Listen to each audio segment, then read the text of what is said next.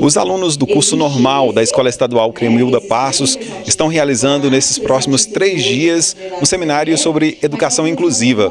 O evento tem abertura nesta terça-feira, dia 3 de julho. Eu estou ao lado de Alana Kedman e também da Daniela Fernandes, que vão falar para a gente sobre esse evento. Lana, qual a importância desse evento para vocês que já vão se formar no próximo mês e logo logo estarão aí exercendo as suas profissões? Esse seminário é a conclusão do curso normal em nível médio, ele é aberto ao público, uma concretização de todo o trabalho, né, junto com a equipe de professores, todos os alunos.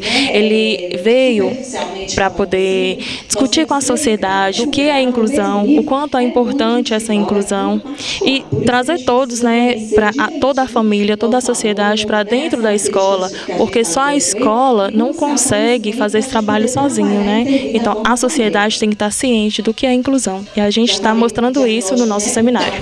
Vou falar agora com a Daniele, também aluna do curso normal. Daniele, esse seminário com essas palestras tão importantes vem desmistificar muitas coisas que as pessoas pensam da inclusão, da educação inclusiva? Sim, ele vem trazendo né, pessoas especializadas no assunto. Inclusive, nós teremos palestras né, com pessoas fundadoras né, da Associação Alana, que está um foco muito grande em Brasília de Minas, né, para ajudar pessoas né, que têm é, na família né, que tem algum problema com alguma deficiência. Né, e também ajudar as pessoas na inclusão, porque hoje nós vimos a necessidade né, de uma certa inclusão né, em todos os aspectos. Né, e nós temos que ser é, iguais a todo mundo, de uma certa forma, no conhecimento. Né, então nós temos que conhecer. Né, então esse seminário veio para isso, né, veio para ajudar as famílias, as pessoas, a sociedade né, a conhecer mais sobre os nossos problemas na sociedade, né, o qual que é os, os focos de hoje em dia. Né. Eu estou aqui agora com Rogério Brito, coordenador do curso normal, vai falar sobre esse seminário também e falar sobre o curso normal. É um curso importante que qualifica esses profissionais já para o mercado de trabalho e esse evento faz parte dessa qualificação, né, Rogério? Com certeza, Fernando. Esse curso ele vem aprimorar o ensino médio, né? É, é um curso de um ano e meio. Aí nós temos uma, uma, uma toda uma grade curricular onde contempla é, base para trabalhar na parte da educação infantil. E dentre essas qualificações, esses estudos que nós temos, nós também temos a parte de educação especial, é onde nós estamos fazendo hoje é um tema é, é sobre educação inclusiva, onde que os, os, próprios alunos estão fazendo esse seminário é, para abranger é, os, os, estudos e principalmente os conceitos da educação especial que é tão ampla, né? Vou falar agora com a diretora da Escola Estadual Cremilda Passos, a Ivaneide José de Oliveira, que está aqui presente nesse evento hoje, um evento importante, né, Ivaneide, que faz parte de uma etapa de conclusão desse curso, que é um curso importante, que é realizado pela escola. Em um ano e meio, esses alunos já saem qualificados para o mercado de trabalho, né? Isso, Fernando. Esse curso é o curso normal e nível médio, né, professor de educação infantil. Ele é basicamente aquela mesma metodologia do curso magistério.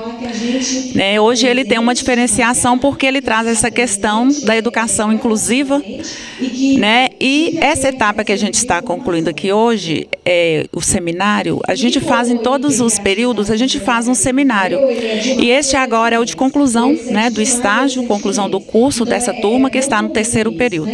Um evento que traz essa contribuição não só para os estudantes, mas para a comunidade também, um evento aberto ao público e a sociedade está presente nessa noite, né? Isso, nesse, é, durante três dias, né, a gente vai estar recebendo as instituições do município e a, a comunidade em geral. Entre palestras, debates e mesas redondas, diversos assuntos relacionados às pessoas com deficiência serão discutidos aqui no seminário.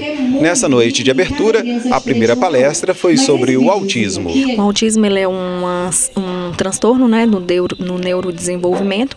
Ele vai afetar três grandes áreas, principais áreas no desenvolvimento da pessoa, que é a comunicação, a interação. Né? A criança com autismo, por exemplo, ela tem comportamentos repetitivos, estereotipados, pode ter a ecolalia, que é a repetição da fala. O autismo ele é um espectro, então vai de um extremo ao outro. Nós precisamos, então, né, é, considerar as individualidades e particularidades, porque um autista nunca é igual ao outro.